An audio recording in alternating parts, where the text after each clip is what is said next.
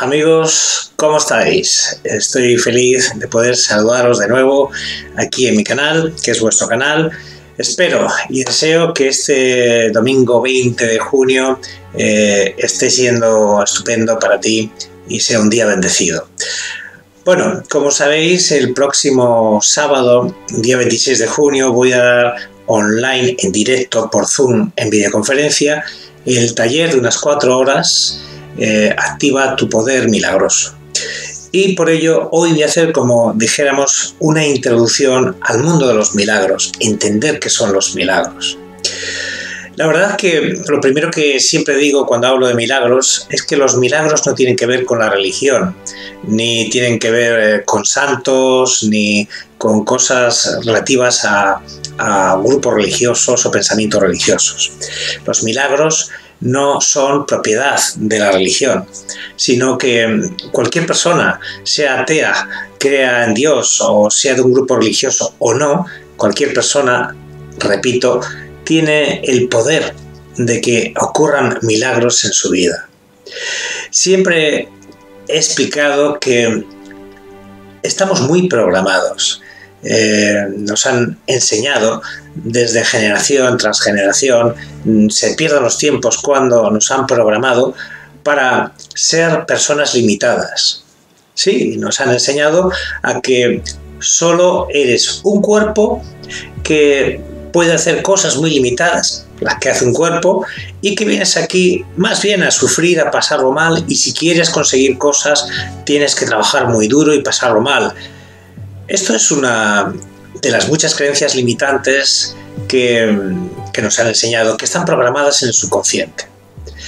La primera cosa que debe entender una persona para que pueda eh, ocurrir milagros en su vida es que mientras no desprogramemos esas creencias respecto a todo, al dinero, al sexo, al COVID-19, a todo, mientras no te desprogrames, eh, no van a ocurrir los milagros.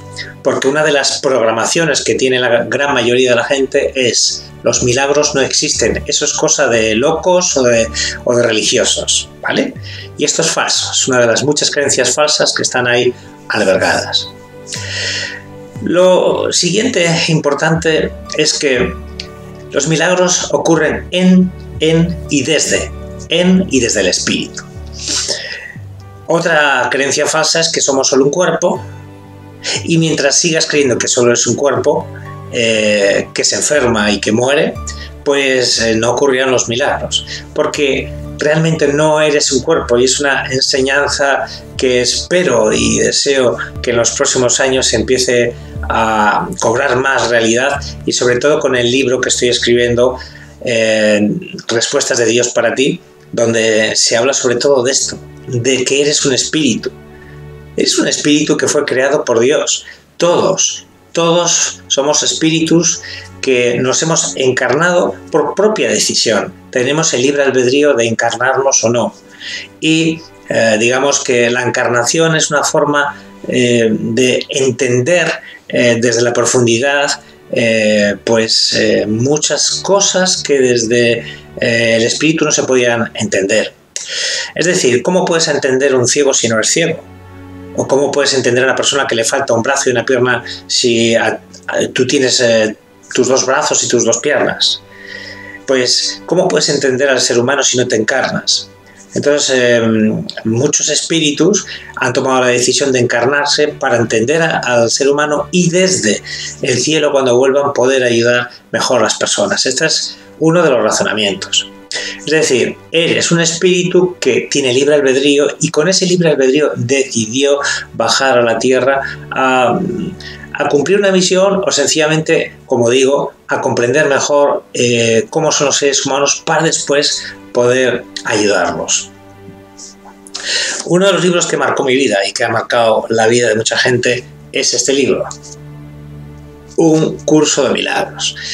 Este libro habla de milagros. No es un libro religioso, no es un libro que te obligue a creer en algo, porque precisamente una de sus máximas es eh, que cada párrafo o cada página o cada capítulo que lees tienes que sacar tus propias conclusiones. Eh, pero hay cosas o afirmaciones que son, como digo yo, de perogrullo, es decir, por muchas vueltas que le des, esto es así y esto es así. Y este libro empieza hablando de los milagros. Sus primeras hojas hablan, explican qué son los milagros y son las explicaciones o las frases que yo suelo dar en la introducción de, mis cursos o conferencias cuando hablo de milagros, porque explican muy bien qué son los milagros. Empieza diciendo que no hay grados de dificultad en los milagros, no hay grados de dificultad en los milagros. Es decir, todos los milagros son iguales. Eh, hay personas que dicen, ay Dios mío, eh, eh, este milagro, el que yo recupere la salud totalmente, esto es un milagro muy grande, esto, esto no, no, puede, no, no va a ocurrir. no hay grados de milagros. Cualquier cosa puede ocurrir, sea lo difícil que para tu mente sea. También dice que los milagros son naturales y cuando no ocurren es que algo anda mal Escucha, los milagros son naturales. ¿No están ocurriendo milagros en tu vida? ¿Sigues con deudas, con problemas de salud, con problemas eh, de pareja, con problemas eh, de todo tipo? Pues eso es que algo anda mal. Eso es que el mecanismo, el mecanismo de los milagros lo tienes bloqueado. También eh, otra parte importante de este libro, de las frases que dice, y que me gusta, y yo la subrayo, como veis, la subrayo. Esta que dice, el Espíritu Santo es el mecanismo de los milagros. Él reconoce las creaciones de Dios así como tus ilusiones. Separa lo verdadero de lo falso mediante su capacidad para percibir totalmente en vez de selectivamente. Nos quedamos con el Espíritu Santo es el mecanismo de los milagros. Entonces, eh, si quieres que ocurra un milagro, necesitas el mecanismo de los milagros, el Espíritu Santo. Pero, pero esto del Espíritu Santo, ¿qué es? Bueno, sin entrar en, mucha profundidad, eh, dijéramos o diríamos eh, de forma resumida que el Espíritu Santo es la energía de Dios o es, eh, digamos, ese poder que, que está, digamos, pegado a Dios y con el que Él lo ha utilizado el Espíritu Santo Dios para hacer todo lo que vemos y lo que no vemos. ¿vale? El Espíritu Santo es el poder milagroso de Dios, por decirlo así, de una forma muy, muy resumida.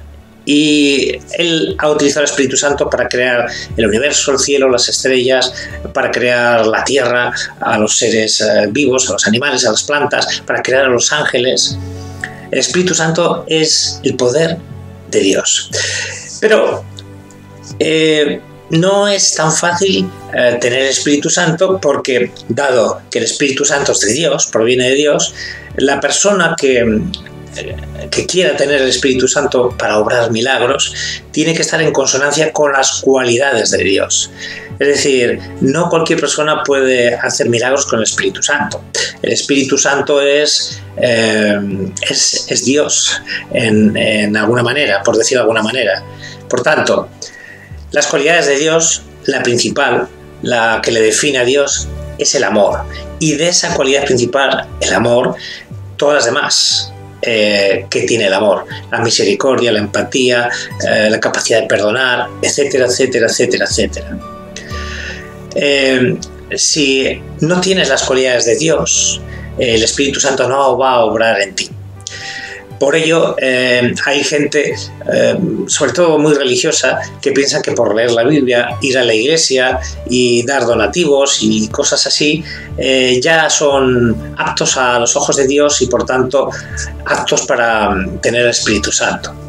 No, para tener el Espíritu Santo tienes que estar en consonancia, repito, con las cualidades de Dios. Es decir, si tú eres una persona negativa, eh, que está siempre odiando, que odia a la gente, que está siempre pensando en venganzas, en si te hacen el mal, devolverlo. Si no eres una persona eh, empática, cariñosa, amorosa, que mm, cuando alguien te ayuda, si tú puedes, no la ayudas. Si es una persona oscura, el Espíritu Santo no va a obrar en ti. Por tanto, eh, la primera cosa que debes entender es que eh, si estás en consonancia con, Dios, con sus cualidades, el Espíritu Santo va a obrar en ti. Pero esto no significa que tengas que ser perfecto. No, pero yo no puedo ser como Dios. Nadie dijo que seas como Dios. Estamos hablando de tener cualidades similares. Similares. Eh, mientras estemos encarnados vamos a seguir haciendo cosas pues que, no, son, no son buenas. Pero de tener imperfecciones hacer la maldad son dos cosas distintas, ¿vale? Eh, la imperfección puede hacer que digas cosas que luego te arrepientas. Pides perdón y ya está pero la maldad es la capacidad de obrar de forma consciente eh, algo que pueda dañar a otro. Entonces, si em, tienes las cualidades de Dios, amor, perdón, misericordia, y te esfuerzas cada día por ser mejor persona, el Espíritu Santo puede obrar en ti. Pero a veces cuando hablamos de milagros pensamos que eh, pedimos el Espíritu Santo y que me toque la lotería, o que esta enfermedad se me vaya ya hay cosas que hay que entender muy profundas. Eh, lo primero, la voluntad de Dios es la que se debe hacer, no la del ser humano. Porque Dios vive en el piso, en el piso 100, nosotros vivimos en la planta baja. Es decir, nosotros tenemos una perspectiva muy pequeñita de, nuestras necesidades y de, de, nuestra realidad. Dios desde arriba, desde el piso 100 o desde el piso 1000, ve toda la perspectiva, desde arriba, medio, bajo y todos los lados. Por tanto, a veces cuando pedimos que ocurra cierta cosa y no ocurre, decimos, eh, pues si yo he pedido al Espíritu Santo, si yo soy buena persona, si yo no sé qué, y el milagro no ha ocurrido. Eh, a veces Dios hace el milagro de que esa cosa eh, o ese problema que tengas perdure, porque también es un milagro el que a veces nos ocurran ciertas cosas para que tengamos aprendizaje y podamos mejorar eh, como personas.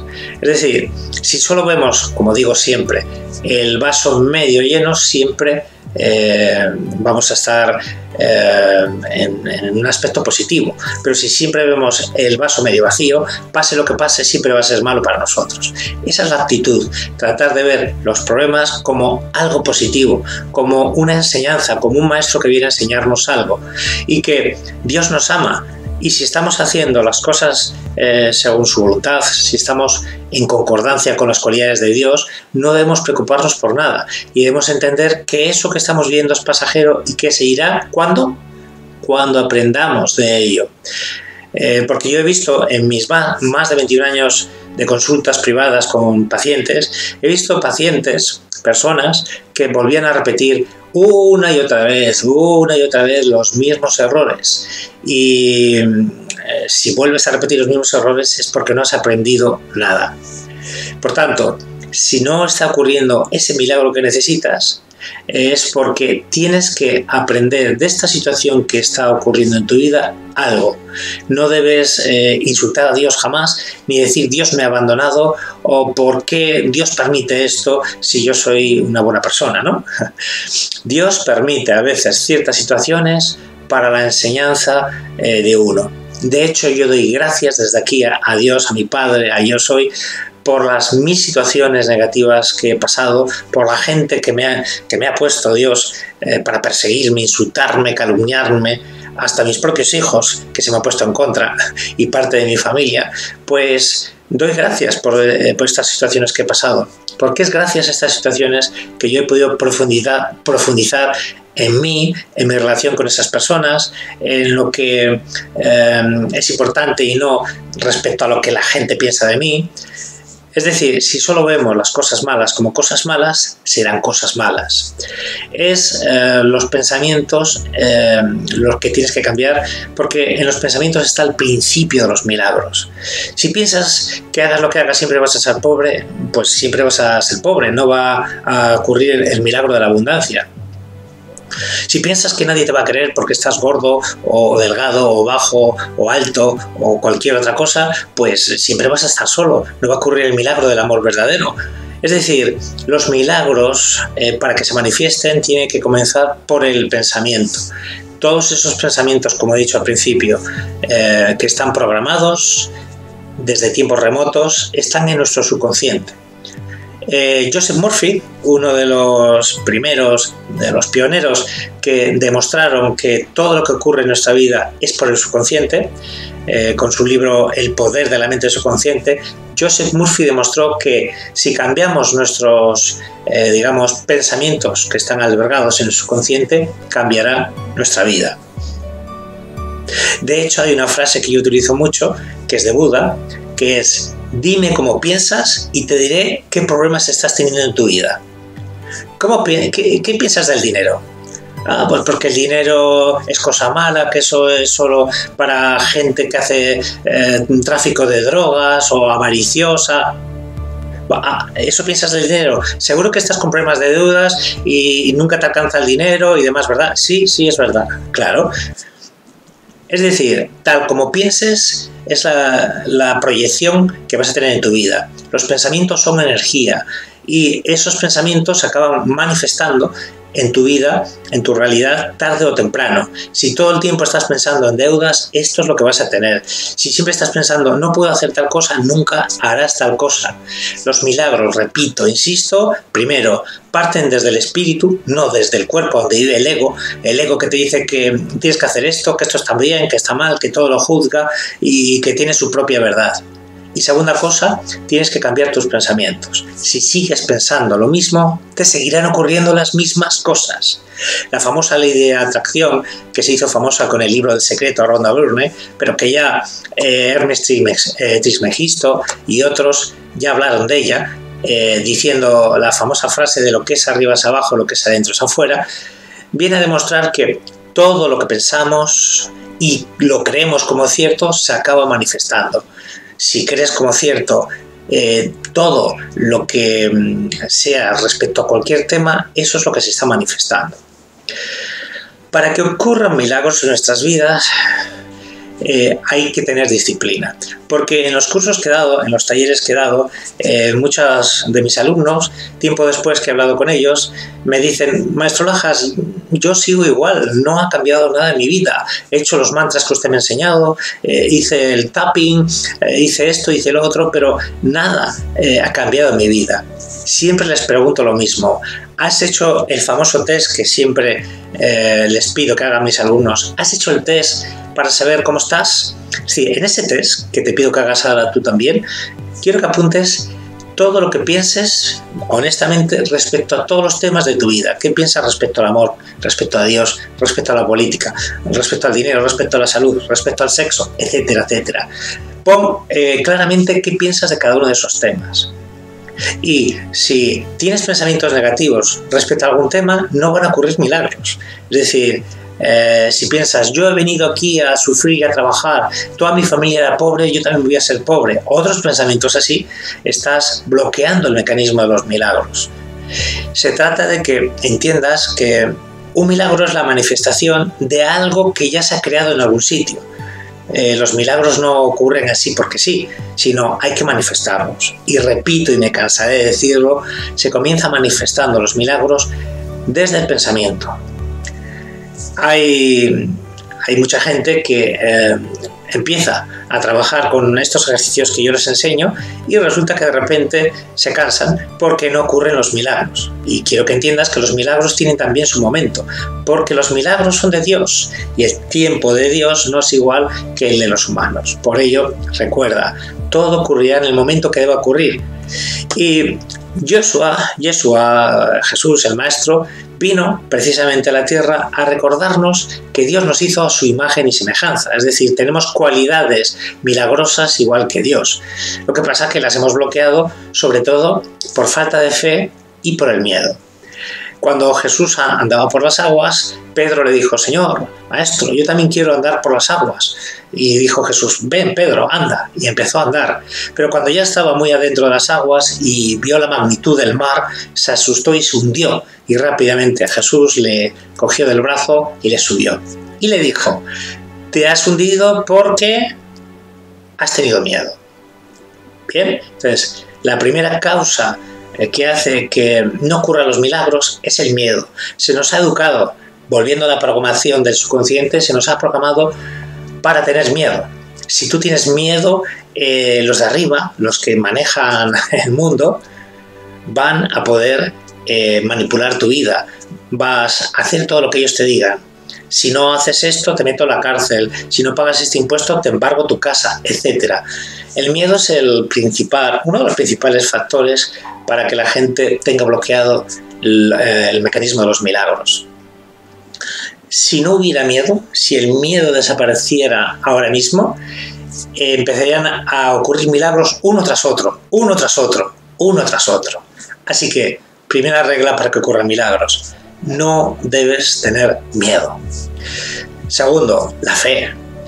Cuando Jesús hacía portentos, les, le preguntaron eh, sus discípulos, Maestro, eh, ¿nosotros podemos hacer también esos portentos? Y él dijo, claro, solo si tienen la fe del tamaño de una semilla de mostaza. Si habéis visto alguna vez una semilla de mostaza, que yo sí la he visto, es pequeñita, pequeñita, es como la cabeza de un alfiler. O sea, no pedía a Jesús em, la fe del tamaño de una manzana o de una sandía o un melón, no, contener la fe del tamaño de una semilla de mostaza. Pero, eh, ¿qué pasa? ¿Que la gente no tiene fe? ¿Por qué Jesús dijo eso? Precisamente por eso. La gente tiene miedo, sobre todo, es el rasgo principal, y la gente no tiene fe. Fe, estamos hablando aquí siempre, eh, cuando nos referimos a la fe, es a creer eh, que cosas que son imposibles para la mente que ocurran, ocurrirán, sin dudarlo. Eso es la fe. La creencia firme de que algo, por fuerte, por grande que sea, va a ocurrir. Es decir, si tú tienes esa creencia, los milagros van a ocurrir. Por ello, las dos cosas que más faltan en, el ser humano hoy día, por eso eh, la mayoría, el 98% de la gente es pobre, tiene problemas de salud, tiene problemas de todo tipo, porque tiene miedo constantemente y tiene falta de fe. Claro, que quitar el miedo y trabajar con eh, con la fe, tener fe, sabemos que como estamos tan programados, no es algo que sea fácil. Nadie dijo que fuera fácil, todos hemos pasado por ese proceso de quitar el miedo y trabajar con la fe. Por último, los milagros son eh, la manifestación de que la persona ha evolucionado espiritualmente hablando. Cuando hablamos de espiritualidad hay que tener cuidado porque mucha gente piensa que ser espiritual es hacer yoga y hacer om o, leer muchos libros de, espiritualidad o, hacer cursos de espiritualidad o ir allí al monte a, a hacer tai chi. no, no. Está bien hacer todas esas cosas y yo además de hecho las recomiendo en mis libros y mis cursos. Pero la espiritualidad es otra cosa. La espiritualidad, la espiritualidad es una forma de vida, es una forma de pensamiento, eh, es una forma de, vivir íntima. Es decir, eh, una persona que es espiritual no va por ahí diciendo que es espiritual, eh, ni va proclamándolo haciendo posturas de yoga y demás para que la gente diga, mira, hace yoga, es espiritual. La persona espiritual sabe que es espiritual porque es una vivencia que él experimenta íntimamente. La espiritualidad es un cambio, una forma nueva de pensar respecto a lo que ya estábamos programados.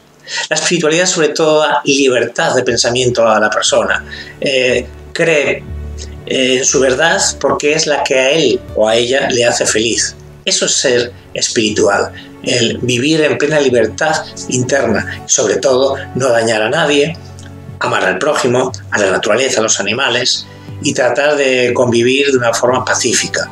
La paz, sobre todo, es la clave de la espiritualidad. Si una persona dice que es espiritual pero no tiene paz, no, no está viviendo la espiritualidad. Se cree que es espiritual porque hace yoga, mantras, reiki y no sé qué, pero eso no es ser espiritual.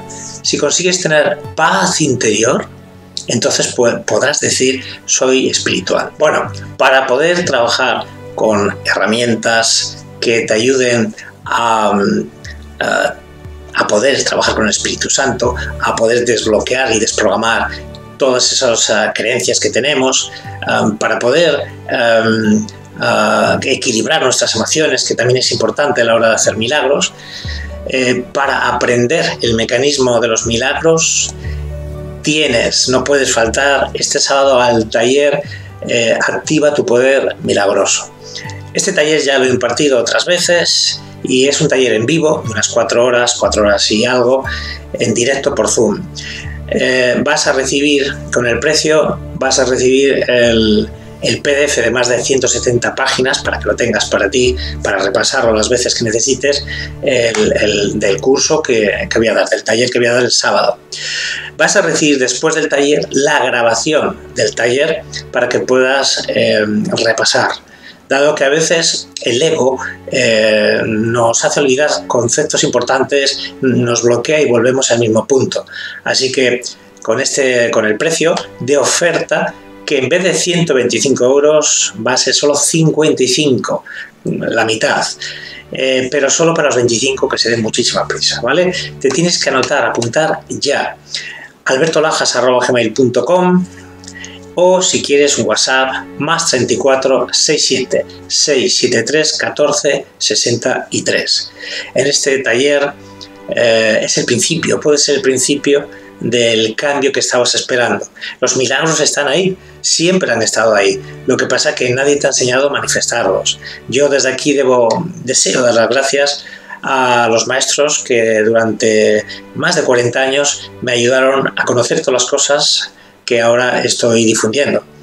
Al margen de mis estudios, porque hay gente que piensa que yo solo um, hablo de estas cosas eh, porque alguien me las enseñó, maestro espiritual. Además, quiero siempre dejarlo claro, soy graduado en naturopatía, tengo estudios de medicina natural, estoy colegiado en la APEM, Asociación Profesional Española de Naturopatía, y eh, he estado 21 años tratando pacientes con Reiki, flores de Bach, homeopatía, masajes, etc.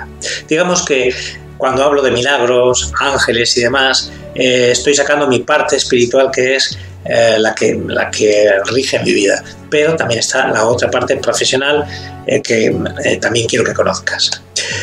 Gracias, gracias, gracias y espero verte el próximo sábado en este taller. Pero date prisa porque son plazas limitadas. Solo voy a permitir que estén como máximo 50 personas. Así que debías estar ya enviando un, un email albertolajas.gmail.com. Gracias, mi paz y por favor, sé feliz. Bendiciones.